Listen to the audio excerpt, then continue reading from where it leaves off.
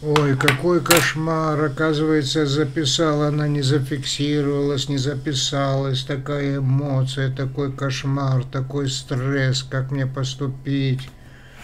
Вот я это говорю, а сам вот так делаю. Ну, видите, да, то есть я совершаю действия, резонансные моему состоянию, то есть синхронные моему состоянию в момент моего переживания.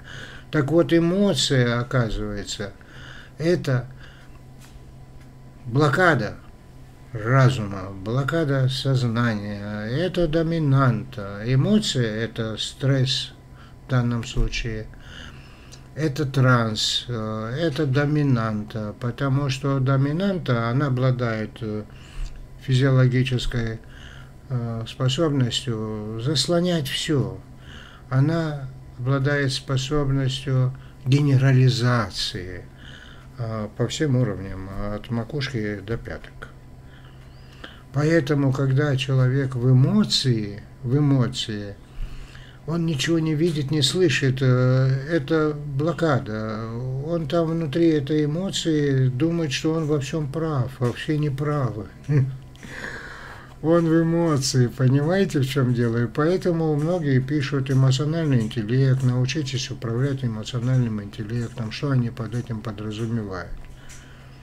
Ну, кто-то это читает, может быть, так, что научись управлять апатией, а другие читают, что научись управлять своим реактивным э, реагированием, инерцией своего мышления – психологической инерции. Допустим, у тебя есть какая-то проблема, тебе надо книгу писать, а у тебя вдруг эмоции, что у тебя там голова пропала в компьютере. Как быть, как быть, как жить, что ж теперь делать? Завис. Вот это зависание, вот эта зацикленность требует разгрузки. А, то есть э, надо все это убрать, выйти из этой эмоции, выйти из доминанты, выйти из этого стресса, который транс. Стресс – это транс. То есть самогипноз.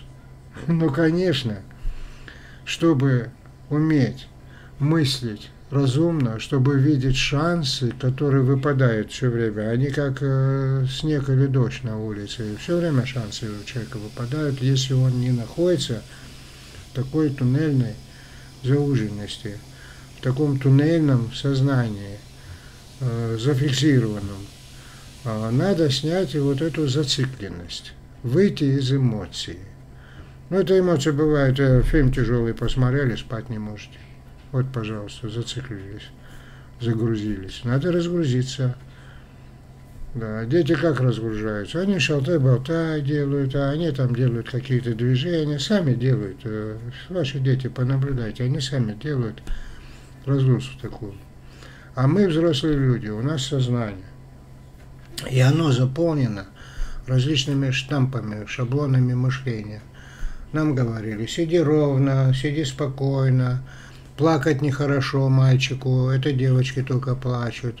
Да, девочкам говорили, надо быть старательной, надо быть прилежной, аккуратной, надо быть. Это все правильно, но только это превращается иногда в штампы. Это становится как бы стереотипом, шаблоном а не понятым пониманием. Потому что мы это не понимаем, потому что маленькие когда были. А, и поэтому мы просто брали все, как говорится, вот это все на будущее, как мы в детстве обучались, дважды два четыре на будущее, еще не знаю, зачем это нам надо. Нам говорили, будешь взрослый, будешь считать, да.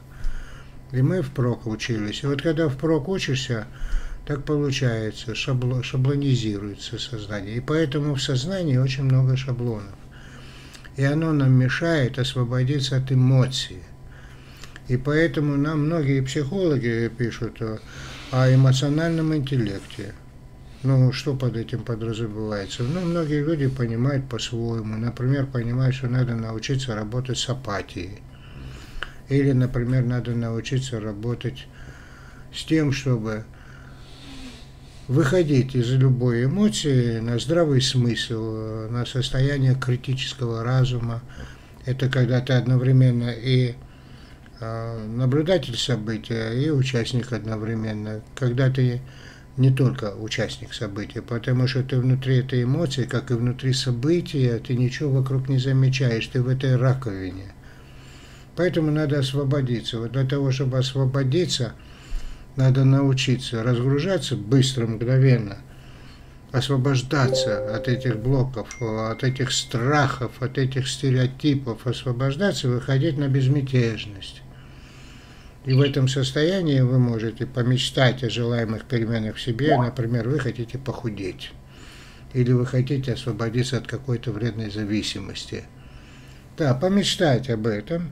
И тогда получается, если у вас была одна доминанта, то есть эмоция негативная, допустим, здесь вы освободились от нее в нулевом состоянии и построили там другую доминанту. Потому что когда в нулевом состоянии вы мечтаете об образе будущего, каким вы хотите быть, что вы хотите иметь, какие способности открыть, таланты развить, какие задачи решить. Если вы об этом мечтаете, это сразу становится доминантой. Таким образом, из негативной доминанты вы создали позитивную доминанту. И вот этот путь из точки А в точку Б как раз таки у вас через нулевое состояние.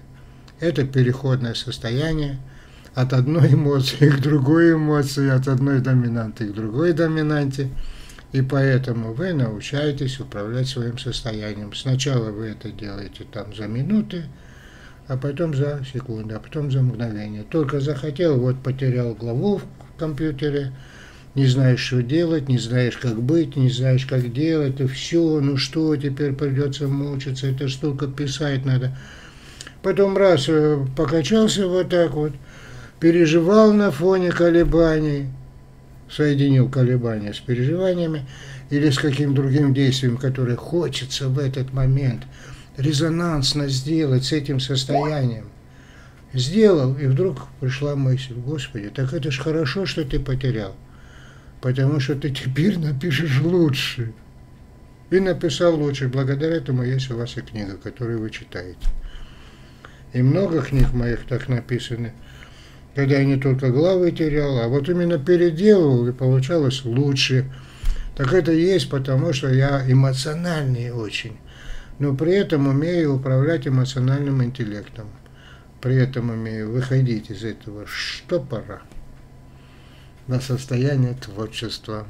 И вы так научитесь. У нас вебинар будет 1 декабря, 20 часов когда вы научитесь решать все свои личные проблемы.